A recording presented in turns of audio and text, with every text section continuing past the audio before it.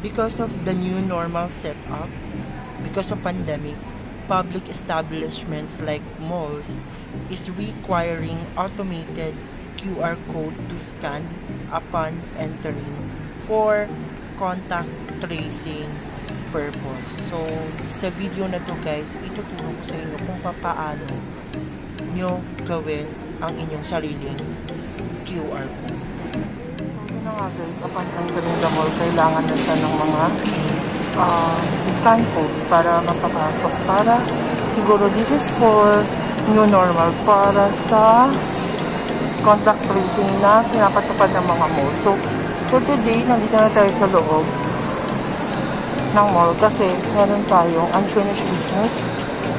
So, yun yung pupuntahan natin. Let's go! So, for this video, ipapakita ko sa inyo kung paano actual na gawin ang inyong QR code.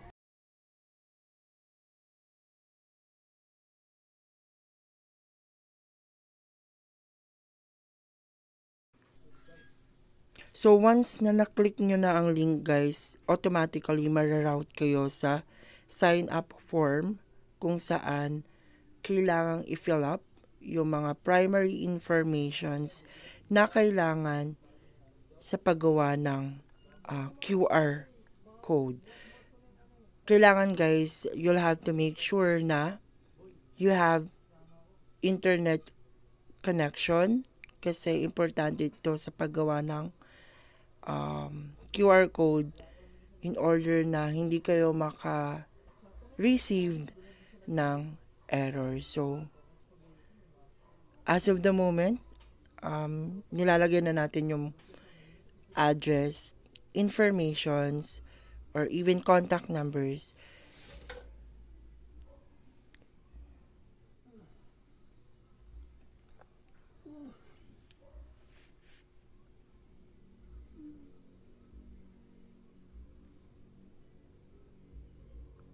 So, yun na nga guys. Uh, even your email address you'll have to include. And then, you'll have to make sure guys na tama yung informations na nilalagay nyo. And then, right after that, you will be creating your, your username and also your password. And then, you'll have to make sure guys na yung password is mamimit yung standard na need kasi hindi siya magpo-proceed So, once na, naki, na nakita niyo yung check symbol, so that means na accepted yung password na meron kayo. And all you have to do is uh, submit. And then, there you go. You already have your personal QR code na accessible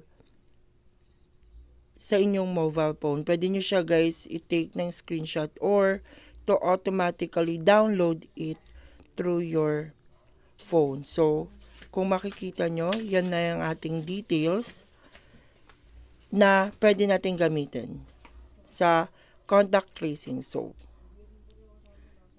yan, kung mapapansin nyo, ito na yung downloaded QR code ko.